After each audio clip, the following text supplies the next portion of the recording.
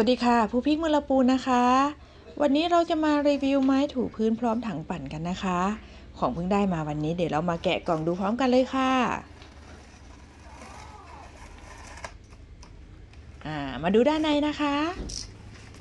ถังปั่นจะเป็นตัวนี้นะคะ มีไม้ถูมีด้ามจับ มีผ้าไมโครไฟเบอร์นะคะ ด้ามจับก็เป็นตัวนี้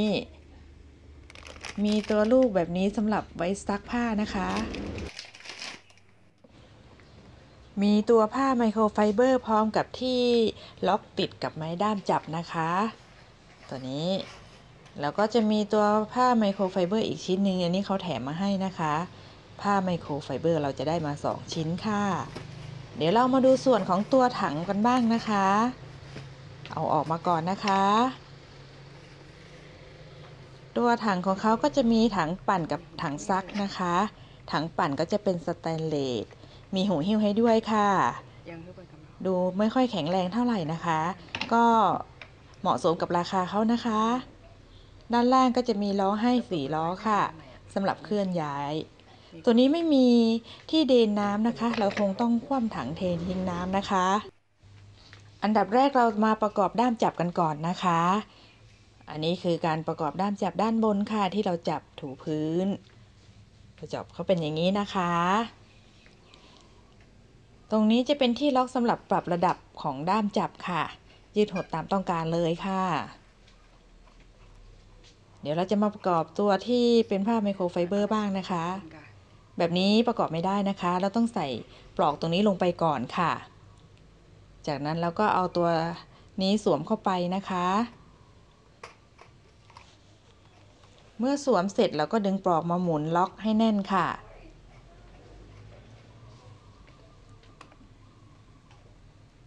แค่นี้ก็เรียบร้อยค่ะ ส่วนของตัวล็อกตรงนี้สามารถหมุนได้ 360 องศาเลยนะคะ เดี๋ยวเรามาทดสอบตัวถังปั่นกับถังซักกันบ้างนะคะ ก่อนที่เราจะซักหรือปั่นนะคะ เราต้องคลายตัวนี้ก่อนนะคะ ที่ล็อกของเขา มันจะเป็นลักษณะเป็นโชคค่ะ ตัวอะไรมือแล้วเวลาทำงานของมันก็คือเราก็จะโชคแบบนี้เพื่อปั่นหรือว่าซักค่ะ ตัวนี้คือถังปั่นแห้งนะคะโอเคประมาณตรงนี้เหรอนี่คือตรงนี้ซักเป็นที่ซัก จากนั้นเราลองมาดูตัวซักกันบ้างค่ะตัวถังซักตรงนี้นะคะ ตอนใช้งานจริงเราก็จะใส่น้ำเข้าไป เติมน้ำเข้าไป แล้วก็ใส่น้ำยาถูพื้นเข้าไปนะคะ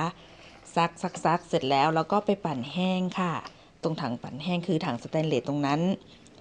จากนั้นเราก็จะถูพื้นได้เลยนะคะ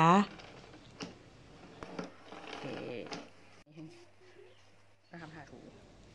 หลังจากซักหรือว่าปั่นเสร็จเราจะถูนะคะ เราต้องล็อกตัวนี้ให้แน่นก่อน จากนั้นเราก็ถูได้เลยค่ะ โอเค ถังของเขาจะมีล้อให้นะคะ เพราะฉะนั้นเวลาเคลื่อนย้ายก็จะสะดวกสบายแบบนี้ละค่ะอะแค่นี้พอขอบคุณสำหรับการติดตามรับชมนะคะ อย่าลืมกด subscribe กดไลค์ กดแชร์ เพื่อเป็นกำลังใจให้นะคะ ไว้เจอกันคลิปหน้านะคะ